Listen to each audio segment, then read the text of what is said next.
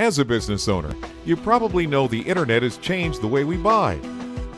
90% of consumers search online before they make a purchase.